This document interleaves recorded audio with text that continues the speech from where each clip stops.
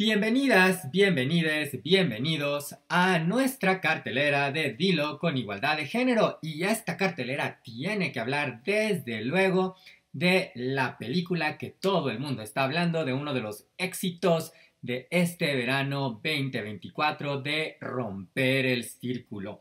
Antes de hablar de ella, por favor, ustedes rompan el círculo de los malos hábitos y déjenos su suscripción a este canal, déjenos su like, comenten y compartan. Y ahora sí, hablemos en esta cartelera de Romper el Círculo, que es una adaptación de la novela de Colleen Hoover una novela de 2016 que explora temas de violencia doméstica y abuso emocional tiene ya una secuela, es una novela exitosísima que vendió más de un millón de copias y ha sido traducida a 20 idiomas. De hecho, ganó el premio Goodreads Choice Award.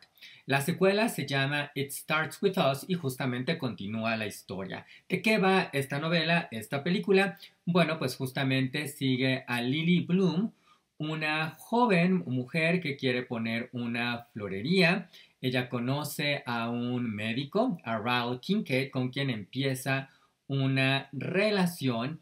Sin embargo, nos empezamos a dar cuenta que hay por ahí ciertas cuestiones justamente que eh, tienen que ver con, eh, pues, con este abuso, justamente como que bajita la mano, pero él empieza a ejercer violencia sobre ella.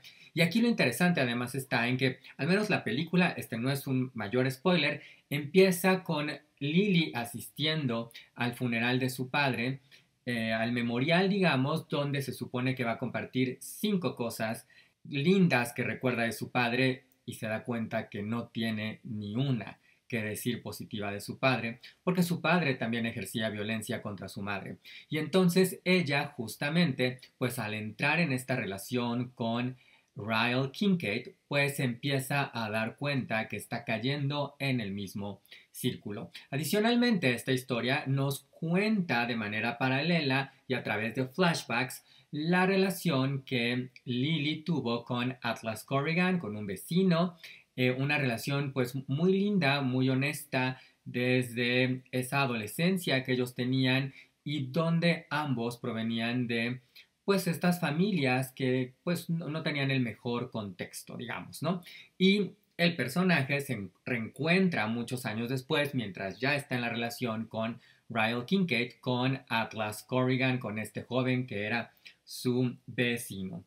Pues esa es como la premisa, es una película que ha causado mucho interés, es un gran éxito en taquilla, lleva ya más de 103 millones de dólares, tiene un par de semanas en las salas y solamente costó 25. Yo les tengo que decir que a mí me gustó, quiero leerlos. Le encuentro desde luego ciertas cositas por ahí que podrían estar romantizando quizás un tanto de más algunas actitudes o algunas cuestiones tóxicas, ¿no? Eh, desde luego, eh, no, no, les voy a spoilerar el final, pero eh, bueno, el título ya indica algunas cuestiones alrededor de ello, romper el círculo.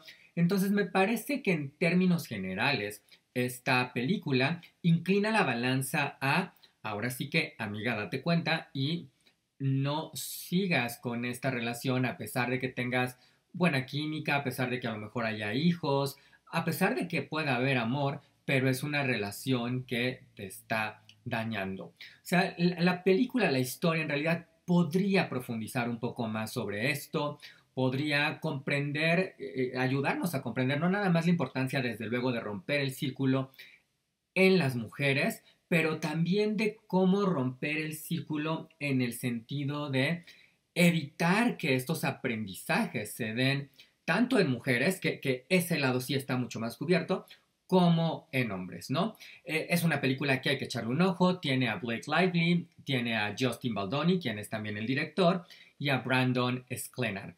Échenle un ojo, por favor, platíquenos si ya la vieron, si no la vieron, creo que podría ser una buena opción para un próximo dilo con igualdad de género, ya aquí mucho, mucho más en forma. Y aprovechando este tipo de historias que tienen que ver con el abuso, eh, desafortunadamente a mujeres, quiero hacerles dos rápidas recomendaciones más.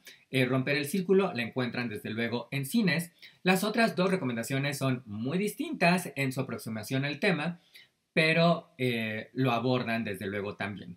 La primera de ellas es Moxie, es una película adolescente basada en la novela de Jennifer Matee y se inspira en la época de protestas de los noventas, aunque sucede en la época actual.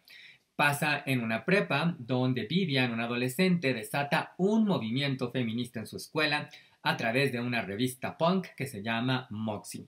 Es una publicación que llama la atención sobre el comportamiento de los compañeros de los niños en la escuela y el sexismo de la administración. Eh, la verdad es que me gusta muchísimo esta película, es muy relevante, es muy inteligente, pone muy bien sobre la mesa cómo hay ciertas conductas que quizás tenemos muy normalizadas y no nos estamos percatando que son conductas abusivas, que son conductas intimidantes, ¿no? Hay, hay por ahí una en especial con una máquina de refrescos o con una máquina dispensadora, que si tienen oportunidad de ver Moxie que encuentran en Netflix, me van a entender. Para mí fue como, wow, qué gran escena porque realmente visibiliza estas acciones intimidantes. Y la otra recomendación, muy distinta en género, se llama El hombre invisible, que pueden encontrar en Prime Video. Del hombre invisible hay muchas adaptaciones, desde luego. Estábamos hablando de la novela de H.G. Wells. Sin embargo, esta adaptación en especial me parece que más allá del entretenimiento que consigue, porque es muy exitosa en ello, crea una metáfora espectacular sobre el abuso y el acoso a mujeres.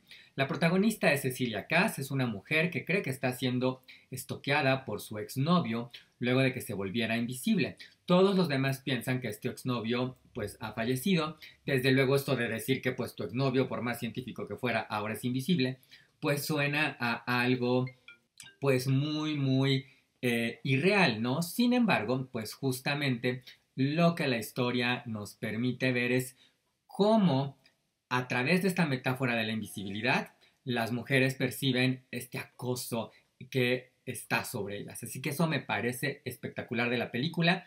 Y miren, tienen aquí ya tres alternativas muy muy buenas que nos permitirían hablar más sobre estos temas. Romper el círculo en salas de cine, El hombre invisible en Prime Video y Moxie en Netflix. Aquí en Dilo con Igualdad de Género agradecemos desde luego también su like, su suscripción a este canal. Coméntenos, compártanos y nos vemos muy pronto en otra cartelera de Dilo con Igualdad de Género.